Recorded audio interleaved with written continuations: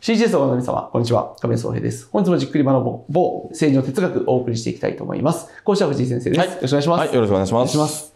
あの前回ながら、前回から恐縮ながら、はいはいあああの参政党のですね、うんうん綱領の中にある哲学をはい先生に解説しているんですけれども、まあ、前回まさに、えーの先人の英知を生かし、うん天皇を中心に一つにまとまる、ね。和な国を、作るということで、まあ、最後、カエル、国家をね、うん。カエルに例えてんお話しいただいたんですけども、僕らが聞いてて、まあ、最後、あの、コメントを言えなかったんですけど、やっぱり他の国ってできては消え、できては消えっていうのが世界の歴史なんですけど、そうですね。日本だけはずっともう2000年以上続いてるんで、まあ一説には2600年ですね、からね。2600年ですよね。2680年。もうカエルじゃなくて亀ですよね。もうそうなんですよ。だからよその国はできては消えなので、はい。まだ生まれたところだから必死なんですよね。はい。で私たちって何だろうってわからないから、私たちは何だろうっていうちょうど青春、青年期みたいなもんで、俺って一体何なんだみたいなのをずっと。アイデンティティを考えてる。そうそうなんですよ。だから若者なんですけど、はい僕らもう2600年ですから、はいもうやっとるわけですよ。もうアイデンティティできまくっとって。ほらもう1月になったらなんか知らんけど、うん初詣行くし、はい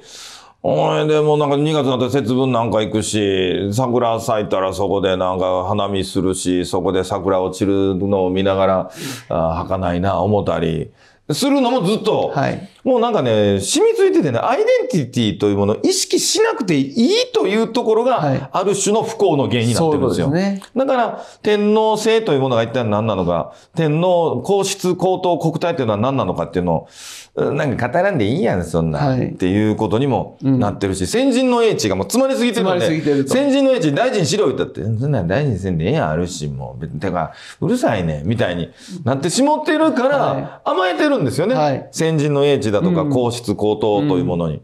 だからね、そこをね、食いつぶしてしまってるところがあるので、ちょっと、ちょっとだけでいいんです。はい。あの天皇陛下バザーイとかまでね、まあやってもいいんだけど、うん。やらなくていいんですよ。ややらなくてもいいですよ。ちょっと思い出して、あ、確かに哲学とか政治学とか民族学的に考えたら、そういうのって大事やな。ってちょっと思うだけで、はい。もともと持ってるもんだから、うん。潰さなくなるので、はいそっちちょっと思うだけで、ふわっとまたね、はい。再生されると僕はね、うん思うんで、だからちょっとだけ思い出してください。それが第一考慮なんじゃないかなと思うんはい。ですね。ありがとうございます。うんえいい振り返りができました。うんうんはい。今日は二つ目のコメントで、これはまあ前回ですね、安全保障のところの話とも被るんですけれども、二つ目は日本国の自立と繁栄を追求し、うん人類の発展に寄与すると。ああ、そうです。そりゃそうなんですよね。これはい当たり前ですよね。これ、共産党であろうが、維新であろうが、自民党であろうが、当たり前ですよね。はい。これねこれどこも反対するとこないと思うんですよ、ねそれはもうそうなんですよ。で、まず、なんかこの文章を理解するには、日本国の自立と繁栄を追求しってなってるので、はい。まず、日本国って何やねんって答えなあかんかったわけですよ。うん。で、それをなんかわからんとなんか、日本はとかって言ってるのはもう軽い軽いって感じなんですけど、それはもう第一項で、これ定義されてるわけですよね。はい。なんかカエルとして、うんうんまあさっきの話だったら、はい。なんか天皇を中心として、えーあったなんか歴史と伝統のこのまとまり、はい。えーとしての一つの有機物、はい。有機体としての、まあ、日本っていうのを、まあ、考えると。うんで、そしたらですね、これが自立と繁栄を追求しなあかんのは、まあ、半ば当たり前で、はいえっ、と、その先ほど言ったその日本一つのカエルと。ちなみにカエルってなんか変なものに思うかもしれませんけど、あの、二見ヶ浦にカエルいっぱいいるでしょ。はい。あのー伊勢の。伊勢のね。うん、はいだからカエルってね、神の使いなんですよ。うんうんまあ日本では。だからまあカエルっていう比喩でも全然僕おかしくないとは、はいまあ思うんですけれども、うん、そのまあカエルとしての、日本っていうのは、これはね、あの、聖なるカエルなんです。はい。聖なる。だから、はい俗悪なるカエルじゃないんです。はい。なんでかって言ったら、中心に天皇、皇室というものがあって出来上がってるものですから。はいで、これはね、あのーよその国は俗で日本だけ聖だって言ってるんじゃないですか。はい。あの、言ってみたら、うんあの、僕ら、魂っていうのがあるじゃないはい。ですか。はい。これね、別の意味で言うとね、これはね、あの、イデアのかけら。うん。その、イデアっていうものがあって、そこに魂はいの世界があるんですけど、それのね、かけらがここに落ちてきてるっていうのが、これプラトン、ソクラテスの、まあ、イメージなんですね。だから、これはなんかこう、命の炎って言ったりとかっていうのがありますけど、だから誰でもね、その俗物とか何とかいろんな欲望とかもあるんですけど、真ん中にね、人間という存在は、魂がまあ、あるんですよ。で、それを日本国家で言ったら、この魂に対応するのが、まあ、皇室、うん。で、あと日本っていうのがまああるって、まあそんなイメージ。はいあ人間だとこれ理性って呼んだりしてもいいし、うんっていうことなんですけど、で、そしたら、この魂のある、まあだってあの、アメリカ人だってソウルミュージックとかって言うわけじゃないですか。だからアメリカ人だってこのソウルがとかって言って、同じイメージがあるわけですよ。うんで、南アメリカのジャマイカだって、うんあの、レゲエなんて全部ソウルを燃やしてるわけですよ。でアフリカだって、で、ヨーロッパだって全部全部そうですけどね。そしたらね、これね、ある種神のかけらみたいなもんで、でこの神のかけらがあるから、真とか善とか美がおわかるだろう。はい。というのが、これがギリシャ哲学の基本的な構図に、まあ、なってるんですよね。はいそしたらね、まあ、言ってみたら、神聖なものなんですよ。人間というものは。はいで、人間が作った国家というものは、すべての国家が日本以外も含めて神聖なんです。だから日本も神聖なんです。はいで、これなんでここまで言ってるかっていうと、日本だけが偉大だって思っちゃダメだからです。うんよそも偉大だからです。はいでこの第二項を理解するためには、よそも神聖なもんなんだと。そうそうそ違うところの、だから、インディアンなのか、うんアボリジニなのか、ガングロサクソンなのか、そう知りませんけど、いろいろ、はいそれぞれね、ある種人間なんだから、うん。神聖なもので、国家全部神聖なんだっていうイメージを持つ必要があるはい。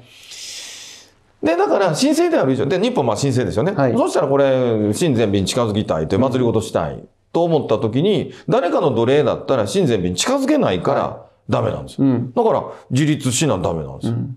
で、反映しないっていうことは衰退していくっていうことですから、虚弱体質になっていくっていうことですから、活力がないっていうことですから、動けないっていうことですから、前に進めないっていうことですから、親善美に近づくっていうことができないわけだから、祭り事ができないってことなんですよ。はい。だから、祭り事をするためには2つの条件が必要で、は自立すること、はい他人から奴隷扱いされないことで、で一定の元気さがあること。この2つが必要なんです。ねだから、日本国の自立とはい。繁栄を追求する。うん。当たり前なんですよ。右翼であろうが左翼であろうが上であろうが下であろうが表であろうが裏であろうが。うんお日本国の自立と繁栄を求めるのは当然必要なんです。で、その時にですよ、実は僕らその大平原の中で自分一人で生きてるんじゃないんですよ。はい日本っていうのは。うん。まあまあそれでもまあいいんですけど、どうやらよそのカエルもおるんですよ。うん。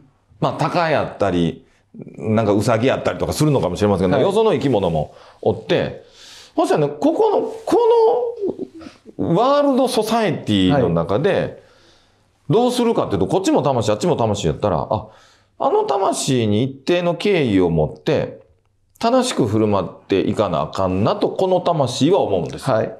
だから、うんエリザベス女王が亡くなった時は、皇室の方が行かれて、弔問したりするし、逆もまたしかり。はい。これは、魂同士、敬意を表しそうですね。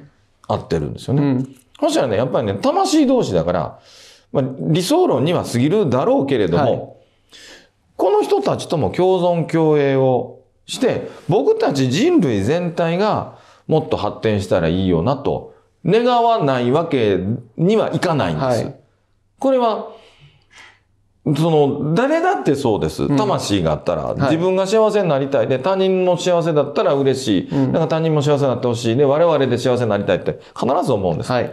で、まずは国の中大事だけど、ふと外を見るとよそにも魂があるわけだから、まあ共存共栄をしてみんなで発展しようと当然思うんです。うんだから、天皇陛下は国民の安寧を祈り、世界の平和を祈ってるんですよ。で、天皇陛下、 Emperor の次に dignity のレベルは下がるんだけど、 Pope、はい。ローマ教皇、はい。これ2番目なんですけどね、ローマ教皇もそれを当然ながら、別にキリスト教信者だけじゃなくて、キリスト教信者の安寧幸せとともに、はい。まあ、キリストをあがなって人類全体の幸福を祈ったわけだから、 Pope、教皇だって、えーローマ法王だって人類全体を祈るんですよ。うん。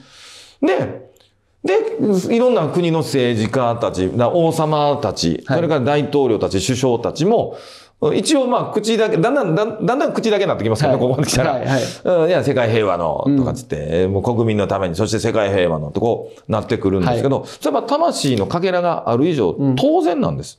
だから、まずは自分が自立と繁栄を追求し、その上で人類全体の協調共和はい。を作って、そこにこう貢献していくっていうのはね、まあ当たり前そうですね。の話なんですよここに我々のこう、ナショナリズムみたいな考え方が入ってるんですよね。ああ、なるほど、そうですね要は。グローバリズムじゃなくて、グローバリズムはね、みんなの発展じゃないですから、うん自分たちが反映してればいいと思ってて、うん他は別に植民地してもいいと。まあまさに先生が思うんですよ。うん、そうですね。そうじゃないんですよ。我々日本も良くなる。そして他の国も地球全体も良くなると。これはやっぱり健全なナショナリズムだと私は思うんいや、ですよね。そうですね。で、えナショナリズムであり、かつインターナショナインターナショナル、リズムね。そうですね。インターナショナリズム。国際主義なんです、はい。グローバリズム、地球主義じゃないです、はい。地球主義っていうのは、自分の魂、他人の魂とかっていうのも関係なく、と。とにかく一個で反映したらええやんけ、うん。っていうことで、えー他人に対するリスペクトがないはい。から、奴隷化していく、そうい植民地化していく、資本を買収していく、うん。っていうことにこうなっていくわけだけで、ど。自由競争、能力主義、弱肉強食。そう、弱肉強食にこうグローバリズムはなってはい。いくんだけど、うん。インターナショナリズムは、ナショナリズムのインターなので、国際なので、はいまず他人をリスペクトしてうるんです。ん。で自分もリスペクトすると同時に他人をリスペクトする。で、他人に対してはリスペクトっていうけども、自分に対しては、まあ、自尊心という言葉で言ったり、プライドっていうわけですよね。はいだから、同じ心の動きなんですよね。はいプライドも、うん他者に対する敬意も。で、自分も一つの生き物、存在なんだから、自分にもあ一定のリスペクトが必要だから、それを誇りと呼んで、えー他者に対しては、それは、それこそ本当のリスペクトと普通に言ったりとか、あするわけで。それがインターナショナリズム。はい、そうです。そしたら、彼には彼の歴史伝統と思いとか好みもあるし、俺にも俺ものものもあるよと。はいもともと違う他人だけど、それでも協力しようよと。うん協力、コーパレート、コオペレート。オペレート何かをするんだけど、こう、二人で何かやろうやと。コオペレート。うんっていうことをこうやっていくと。で、そうすることで、このソサエティ、人類全体にまあ貢献をしていくと。そうですね。いうことですね。そういうことです。ん。はい。で、これを理解するために、これちょっと注意事項がね、はい。人類の発展に寄与するって言ったらね、なんか、自分、日本はどうでもいいと。はい。まあ日本はなくなってもええけど、環境だけがええねんとか、うん日本どうでもよくて国連だけがええねんとか、っていうのは、まあ、それはちょっと祭り事の哲学的には間違いですそうですね。でもそういう方結構若い人でいらっしゃって、うんうん世界のため、人のためとかおっしゃってるんだけど、うんでも我々がやっぱり世界のために本当に意味でね、日本人、日本国がですね、うんやろうと思ったら自分たちがちゃんと自立してないと、そうです。よ世の中の役に立てないんですよね。無理なんです。そんなものを、そんな、俺はお前のこと助けるで、言って、なんかプロポーズするときにね、はいオタク収入何番の、収入何もありません。プー太郎でんねん。あんた私と結婚できへんがな。そう。ご貢献できる。そういうこと。だからやっぱりこう、女をめとろうとするのならば、はい。はい。一定の自立的な経済的自立はがい。必要で、で、かつなんかわけのわからん反射の射程みたいになっててね、お前の嫁さんちょっとよこせやとか言われた時にはふざけるなって 言えなかったら、はい。どうぞどうぞどうぞ。あんたうちのこと守れへんやない。はい。だから政治的な独立と経済的な独立がないと、うん奥さん一人を養うこと、守ることもできないんだから。そう。まあ男性的な視点で今話しますよね。あ今ね、まあまあ女性的はいに逆に言ってもいいんですよ。はいはいまあわかりやすい例で言っただけで。うんだからね、人類の発展のためには日本国の自立と繁栄っていうのが絶対、はい。うん必要、まあ、繁栄に貢献するためには。はで、逆に、日本国の自立と繁栄だけ考えて人類の発展に寄与しひん。はい。